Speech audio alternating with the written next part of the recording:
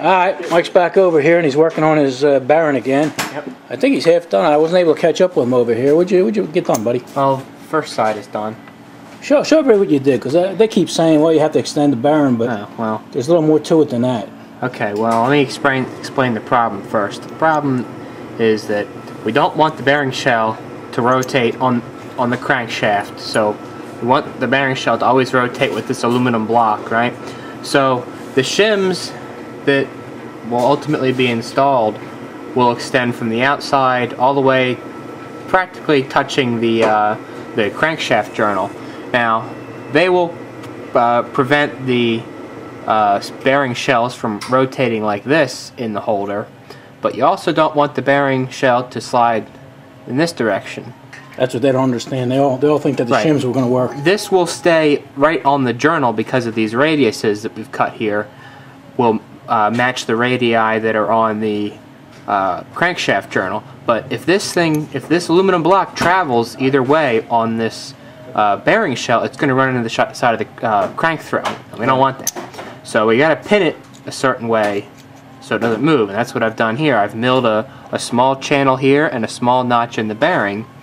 That's going to sit like that. Each each bearing shell is going to have one, and then I've got a small pin right here that I can just drop in. It's kind of kind of a little fiddly operation, right? it's tight. Well, yeah, it's, but you drop that pin in there.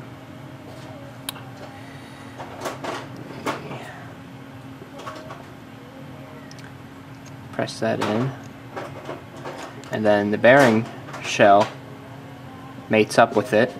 You could tap that in there, like that. And once you tap that in, it'll, be flush with the top of the uh, the top of the shell here. Once I tap that in all the way, and that'll prevent the bearing shell from traveling in this direction.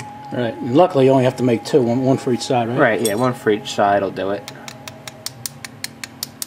That's all it takes to do that, so. Yeah, it's, it's a pretty tight little fit, which is good. And then to get it out, you just press on the bearing and lift it up, or go the other way. There you go, and it There slides right out. There it Okay. is.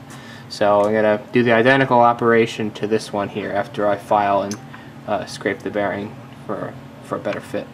So that's All right, we'll, uh, we'll see if we can catch him when he's doing that. okay. You're moving pretty fast tonight, Mike. All right, see if we can get in uh, over Mike's shoulder here. See what he's doing. Melon.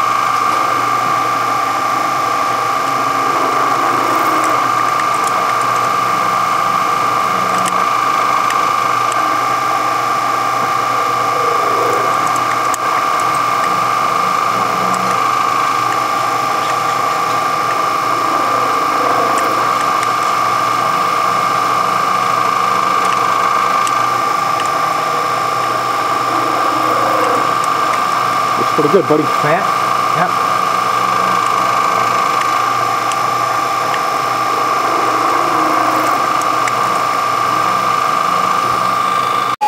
What you doing now, buddy? Well, I got my second pin here. As you can see, I'm just rounding off the edges so that I can get as much surface area of the pin and the bearing as possible, you know, because the end mill makes a rounded, rounded slot. So I want to make my pins rounded also to pop in Right. there. So use, use a little stone on the Dremel to round them out a little bit. Works out pretty well. So Yeah. Sorry you had to yell, buddy. We got a lot, a lot going on here. We got a little racer over there. He's working on a Maytag and a little dirt bike. I don't know what the hell he's doing. What are you doing over here, buddy? Oh, I'm making a. Uh, Stepper motor, Yeah. Hooking up this computer, make it run, make that thing turn. It's a dynamometer. Remember last time? Uh huh. Uh huh. and then Daddy Dirt Bike, I don't know what he's ruining over here. He's making himself a windmill, Wind generator. Yep. wind generator. And Blind John over there, he's watching him, make- keeping an eye, keeping his eye on him. All right, Mike's going home for the evening. Uh, he's only been here a couple hours and everything, but uh, he's got to get up again early tomorrow morning. But uh, he got both of these done. He left this one in. Let's see. Oh wait, there we go. Make sure the light's on. Now he just uh, he's got to file that one flush, and that'll be done. And here's the other one over here. Where'd it go? Right here.